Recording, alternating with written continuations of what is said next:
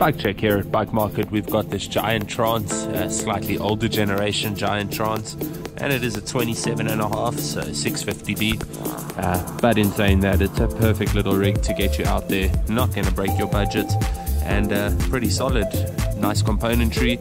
Got a Fox float on the center. You've got an SR Suntour up front. Shimano Deore. Shimano Deore drivetrain with a rapid ring and a giant one by system up front. So nice and simple, nice, solid, reliable, crispy shifting can be expected from Deore. Nice and easy to maintain as well. Uh, so if you're a weekend warrior, you're heading up to your local bike parks or you're just shredding up your local trails around your area, this is a perfect, perfect little option. Coming from a 26er hardtail, a beautiful little upgrade as well. Uh, nothing, nothing wrong with this rig. Um, very clean looking cockpit, uh, top tube, nice neat looking uh, cockpit as well, uh, a nice neat looking front end of the bike as well, cables neatly routed so no rattling around.